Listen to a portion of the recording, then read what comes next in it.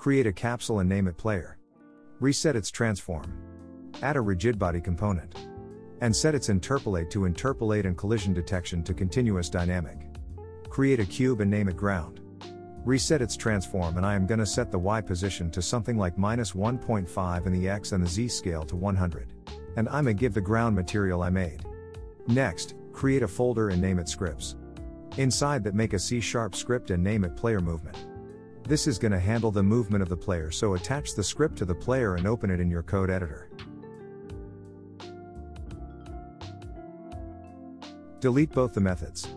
And create a serialized field private rigid body and name it RB.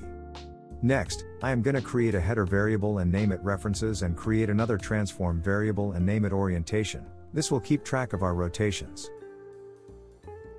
Create another header and name it movement and create a float variable called move speed. This is gonna be the speed of the player. Next, create the start method and inside type cursor.lockState equals to cursorLockMode.locked and cursor.visible equals to false. Also put rb.freeze rotation equals to true. This is gonna freeze the unwanted rotations. Now create the fixed update method. And inside I'ma call a method named movePlayer which isn't yet created so let me create it. So first let's find the player's input by using input.getAxisRaw horizontal and input.getAxisRaw vertical and by storing it in some float variables named x and y. Now let's create a vector 3 and name it move direction equals to orientation.forward into y plus orientation.right into x.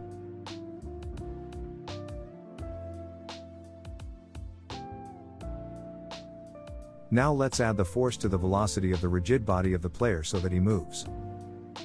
Save the script and go back to Unity. Here I'm gonna drag and drop the player's rigid body and inside the player, create another object and name it orientation. And drag and drop it to the player movement script. And I'm gonna set the move speed to something like 10. Next create another script and name it move cam. This is gonna move the camera with the player so create an empty game object and name it camera holder and drag and drop the camera inside the camera holder to make it a child object. Now drag and drop the move cam script to the camera holder and open it in your code editor. Here I'm gonna delete both the methods and create a transform variable named campos. Now create the update method and type in transform.position equals to campos.position. Save the script and go back to Unity. Inside the player, create another object and name it campos and set its y to 0.6. And drag and drop it into the movecam script. Next, create another script and call it mouse look. And drag and drop it to the camera. Open it in your code editor. Here again I'ma delete both the methods and create a transform variable named orientation. Create a header and name it references. And another header named look. Inside create two float variables named sense x and sense y.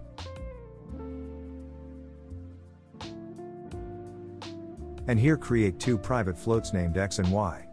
Create the update method and type in y plus equals to input.getAxisRaw mouse x multiplied by sense x and 0.01. And x minus equals to input.getAxisRaw mouse y multiplied by sense y and 0.01. And then x equals to math f.clamp x, minus 90 and 90. Now let's set the rotation so, orientation.rotation equals to quaternion.Euler, 0, y, 0. And transform.rotation equals to quaternion.Euler, x, y, 0. Save the script and go back to Unity, here I'ma drag and drop the orientation and put the sensitivity to something like 100. Press play and you should be able to look around and even move. Thanks for watching the video.